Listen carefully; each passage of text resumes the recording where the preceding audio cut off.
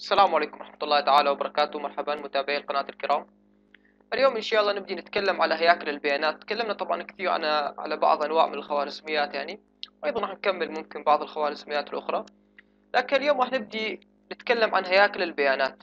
هياكل البيانات أيضا موضوع مهم جدا. فقط يفرق يفرق عن الخوارزميات إنك تحتاج إنه تفهم ال object oriented programming أو البرمجة الكائنية حتى تقدر تعمل هياكل البيانات. هياكل البيانات هي تمثيل طبعا شرحته بالبداية يعني اللي يريد يفهم ما هي هياكل البيانات. يرجع لأول درس أو ثاني درس بالكورس شرحت فيها هياكل البيانات بشكل مفصل. يعني هي طريقة ترتيب البيانات بالذاكرة بشكل كفو. هذه الطريقة يمكن تعرف هياكل البيانات. أول ما نبدي نتكلم على هياكل البيانات طبعا نذكر أهم هياكل البيانات الموجودة والمعروفة واللي لازم تعرفها أنت يعني كمبرمج. نتكلم طبعا بلغة جافا أيضا. هياكل البيانات المهم بالبداية تبدي بها أول ما تبدي لازم تفهم ال dynamic array ما هي ال dynamic array عندك ال static array وال dynamic array ال static array اللي هي موجودة عادة باللغة أي لغة برمجية. يعني ما يحتاج تعملها أو شيء مبرمج يعملها أو مكتبة تعملها. اللي هي ال array العادية. مشكلة ال array العادية ما هو؟ هو أول شيء ماكو عمليات عليها. يعني ما تقدر مثلا تضيف بيانات تحذف بيانات بها عن طريق دوال. أيضا المشكلة الأخرى إنك ما تقدر تزيد حجمها. يعني عرفت المصفوفة مثلا حجمها مثلا أربعة مثلا. ما تقدر تزيدها بعدين تبقى أربعة ما دام عرفت أربعة فإذا تبقى أربعة.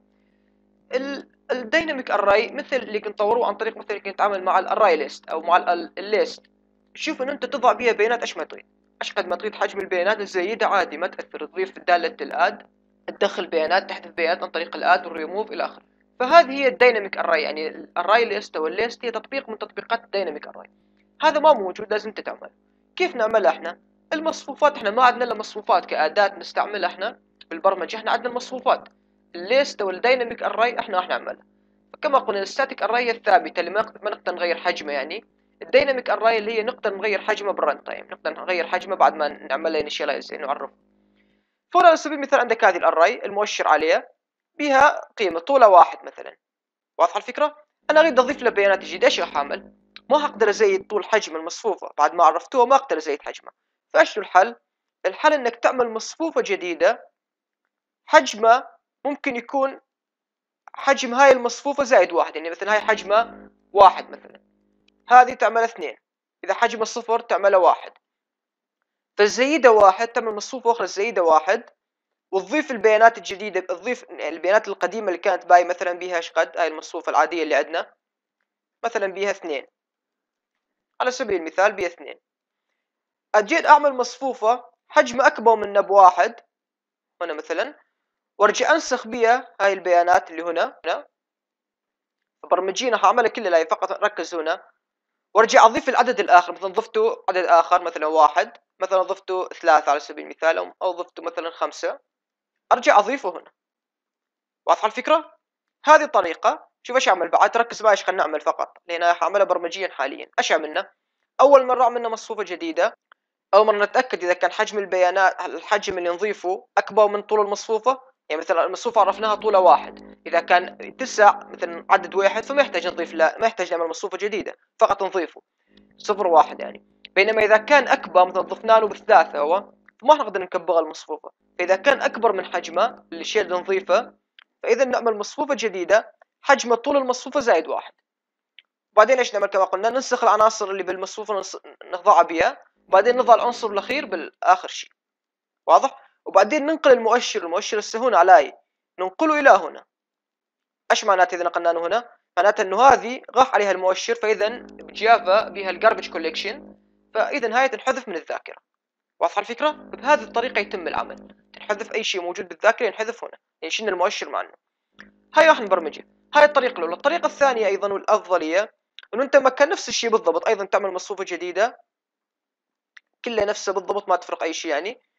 لكن الفرق إنه أنت كما تضيف فقط واحد يعني حجمه زايدة فقط واحد وكل ما تضيف عدد زايدة واحد تضيف عدد الآخر زايدة واحد وهكذا. لا كل ما تضيف عدد معين تعمل حجمه في اثنين ضعف حجم هاي المصفوفه وتضيف العدد. واضح؟ حتى بعدين لما نضيف عدد الاخ ما يحتاج نكبرها مرة الاخ نجي نضيف عدد الاخ مثلا ما يحتاج أرجع أعمل مصفوفة الاخ وضعف حجمه وتعب الذاكرة مالي. قبل أضيف. لما مرتلخ تنتلي هذه يلا ارجع أعمل مصفوفة جديدة حجمه مضاعف مرة أخرى وهكذا. أتمنى الفكرة تكون واضحة. حاليا فقط مبرمج بسرعة. الأمر جدا سهل أعتقد يعني فقط ركز معي وانتبه. فنجي أول مرة. البيانات اللي بالمصفوفه نعرف مصفوفة. عندنا integer نسميها data اللي بيها البيانات يعني. مصفوفة طبعا هي نوع integer يساوي new integer حجمها إيش قد؟ نعمل حجمها واحد هنا. واضح؟ حتى يسع بيها واحد فقط. نعمل أيضا integer size طول المصفوفة يبدي بالصفر إنه ما بيه طول حاليا فارغ. حاليا عندنا شنو الأهم شيء عندنا؟ ال add. نضيف عناصر جديدة. اشياء مثل ما عملناه حاليا هنا؟ راح نضيف. قلنا أول مرة نتأكد من حجمه. فشوف أول مرة نعمل ال add ال add ما يرجع لنا أي شيء فنقول void.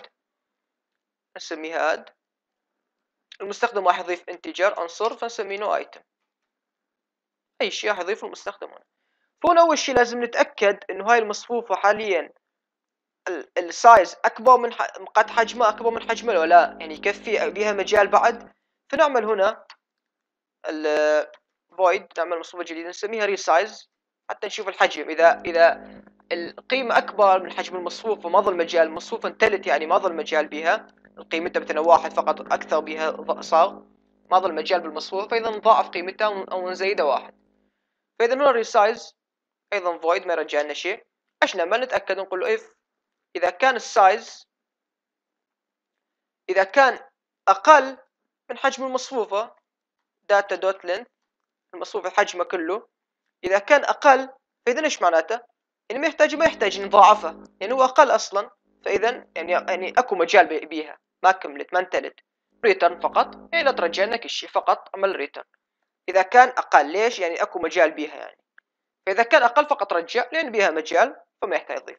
بينما إذا كان ما أقل يعني إذا كان أكبر صار حجمه فإذا إيش نعمل؟ نعمل مصفوفة جديدة أول مرة. نقول له integer نسميها مثلا bigger مصفوفة أكبر يعني. مصفوفة هي أيضا. تساوي new integer أش قد طوله قلنا؟ إما نعمله مضاعفة الأفضل أو نزيده واحد. فكل الأحوال الأمر سهل يعني. فقط نقول له نقول له data dot length طول المصفوفة زيده واحد. لكن كما قلنا الأفضل أن تقول اضربه في اثنين حتى يكون مضاعف حجمه.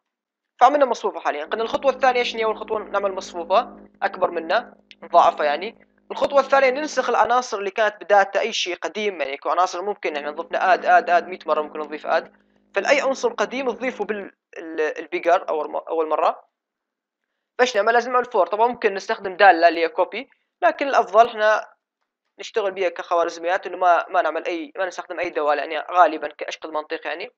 فقل integer i يساوي صفر i أقل من ال من data dot length من طول المصفوفة. i زائد زائد فاذا حاليا ننقل اللي ب data فنقول له ال bigger of i إيش تساوي؟ تساوي data of i واضحة الفكرة؟ إنه ال i تبدي من الصفر إلى طول المصفوفة data فأول مرة ال bigger of i اللي صفر يعني أول أول index ماله خلي بينه ال data of i إيش معكم ب data خليها بينه. فبعدين صفر واحد اثنين إلى نهاية ال data فكل البيانات اللي بال data يتحولون هنا. بعدين قلنا إيش نعمل أيضا؟ قلنا نضيف البيانات ضفناها حاليا. بعدين أيضا المؤشر نشيله من هون نشيله هنا نخليه على ال bigger على الأكبر. فكيف نعمل هذه؟ بعد ما خلصنا ال for فقط نقول له يساوي ال bigger هي كلها ال bigger أصبحت بال data. واضح؟ يعني أي شيء كان هسه بال bigger صار بال data تساوي أي شيء بال bigger فال data صارت كأنه هي ال bigger نفسها. صارت الأكبر حتى واحدة منهم تلغي بالذاكرة. فانتهى الأمر حاليا هنا ال resize فحاليا لما نجي نضيف إيش نعمل؟ نضيف ال item قبل ما نضيف ال item نتأكد بال resize فنستدعي ال resize إذا كان حجمه أكبر إذا كان الحجم ما يكفي ماكو مجال يعني نعمل هاي العمليات كلها. من أول مرة نعمل مصفوفة مضاعفة بعدين ناخذ القيم بال data ونخليها بيها بعدين نحول إلى ال data المؤشر. بعدها بعد ما عملنا resize حاليا فقط نضيف له ال item نقول له data كما قلنا ال data بعد خليناها بال bigger هنا. فاذا data عادي هي كان صابية البيانات السابقة ونضيف لها بيانات جديدة. فقول له data dot ال size زائد زائد إيش يساوي؟ يساوي ال item إيش معنات هذه؟ طبعا ممكن تقول له هكذا ممكن تقول له بهذه الطريقة بعدين نزيد ال size plus plus ليش؟ يعني حتى أضيف له أحط له بال item هنا أضيف له ال item الجديد المستخدم دخله المستخدم راح يدخله بال add هنا. وبعدين زيده اعمل المؤشر ودينه على المكان الثاني حتى ممكن اضيف له بعد يعني. واضحة الفكرة؟ هنا طبعا نفس الطريقة بهذه الطريقة. هذه ال add. أعتقد الأمر سهل وواضح. حاليا ممكن نضيف ال get أيضا.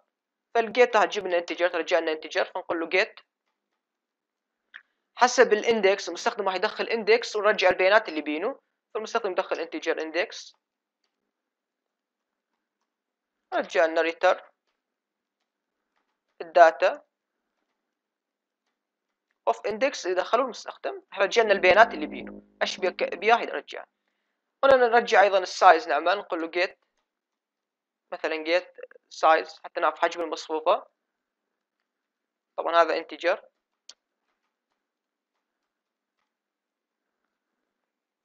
له return size أشقد كان رجعه واضحة الفكرة؟ حاليا انتهى الأمر. عندنا get وعندنا size وعندنا هنا. طبعا ممكن نعملها private البرمجة الكائنية لأن ما نستخدمهم بالخارج إحنا. عادة يكونون private لا نستخدمهم خارج. ال get راح نستخدمه بالخارج. ال get size راح نحتاجه بالخارج. ممكن نستدعيه بأي مكان يعني كمكتبة. بينما ال real size أيضا ما نحتاجه. فقط قولوا private ليش ما نحتاجها استخدمناها هنا. إحنا استدعيناها بال add. ما نحتاجها خارج. نعمل مصفوف أخ... آه، نعمل class آخر اللي هو دالة ال main نضع بينه يعني نسميه test مثلا. نضع بينه دالة ال main. Public static void main ال main طبعا هي اللي ينطلق من العمل. فهنا تقبل string. مصفوفة من ال string ممكن تخليها اسم اكتبها أي مثلا ماكو أي فرق. حاليا إيش راح نعمل؟ حاليا راح نستخدم هذه. اعتبر هاي ال array list اللي عندنا هي. فقط إنه هون فقط integer ممكن نعملها generic أيضا. أيضا سهل جدا ممكن نعملها بعدين. لكن حاليا فقط ما أريد أدوخك أكثر بهذه الأمور. فحاليا عندنا هاي dynamic array نعمل منه class ونقول له نعمل كائن عفوا منه. dynamic array نسميه مثلا نسميه dynamic أو نسميه list مثلا. هنا هو list كانوا list عندنا. نساوي new dynamic array بعدين راح ناخذ ندخل بيانات بينو. list dot add وندخل مثلا ندخل ثلاثة هنا. شوف ال add اللي جبناه من هنا. هذه ال add فحاليا ندخل عناصر نريدها إحنا بالبيانات مثلا. فأقول له system dot out dot print. رجع لي مثلا ال list dot get ال integer ماله اثنين مثلا. اللي يشني شوف صفر واحد اثنين اللي هي ثمانية من هنا ال get استخدمنا ندخل ال index ورجعنا البيانات شوف هنا ننفذ حاليا. شوف رجعنا لثمانية. رجع مثلا واحد. شوف رجعنا الخمسة صفر واحد. وهكذا.